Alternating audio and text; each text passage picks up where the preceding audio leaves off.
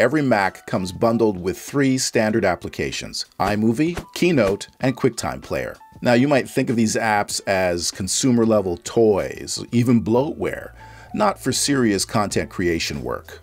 I've been a professional video creator for more than three decades, spent 20 years in professional television, and to be honest, the vast majority of videos that I see on YouTube could be made using iMovie, Keynote, and QuickTime Player for the Mac. Any great video starts with a high quality recording, and you can do that quickly and easily using QuickTime Player. You can record your webcam, your mirrorless camera through an HDMI capture card, or even the camera on your iPhone, all in high quality ProRes, a video format used extensively in professional editing. And speaking of editing, let's talk about iMovie. Are you making your typical YouTube style videos with a talking head, some B roll, text, jump cuts, zooms, and the odd shake effect? Well, iMovie's got you covered. You can even throw in an over the shoulder graphic, green screen, some color correction, a few transitions, or a video effect or two if you're so inclined. You can even do some vertical video editing in iMovie.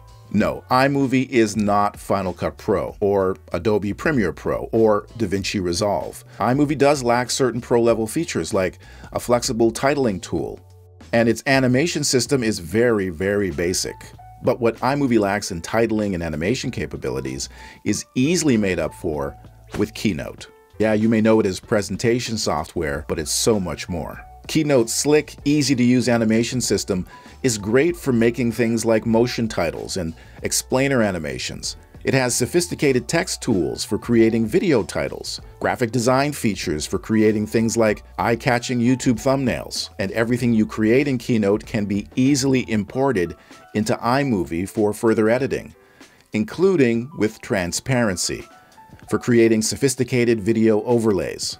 Oh, and did I mention that Keynote is a high-quality video creation tool in its own right? Along with the ability to create slick cinematic slide presentations, Keynote has audio and video editing and recording tools for creating things like online course lessons and video lectures. You can even use Keynote to repurpose your traditional horizontal videos into square or vertical formats for social media. Looking to make software tutorials? There are a number of great paid apps to choose from out there, and I use a few of them. But if you're looking for a free, simple to use, high quality screen recording tool, there's QuickTime Player and its companion application Screenshot, both built right into macOS. QuickTime and Screenshot allow you to record your screen along with a voiceover, with helpful little features like animated cursor highlights. And with some ingenuity, you can even add your webcam to the recording. And if you ever find yourself in a situation where you need to make some quick edits to your video and who hasn't, no need to open up iMovie and create a whole project. You can do simple, quick editing right inside of QuickTime Player. Alright, I admit it. You can't make every kind of video with just iMovie, Keynote, and QuickTime Player. Sometimes you need to look to other tools to create the content you want to create. And I cover a few of those other Mac video creation tools on my channel.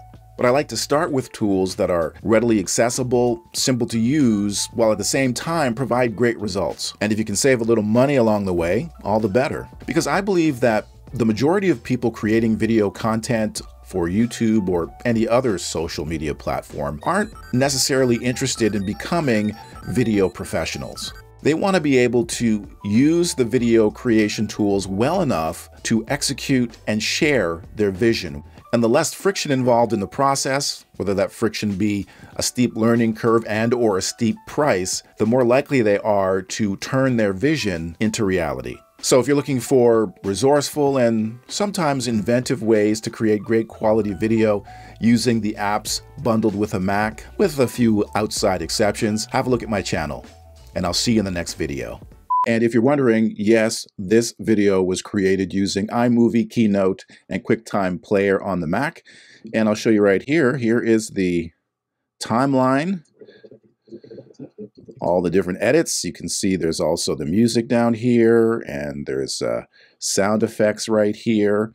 And these animations were created using Keynote. Here is the Keynote file with all the different animation slides.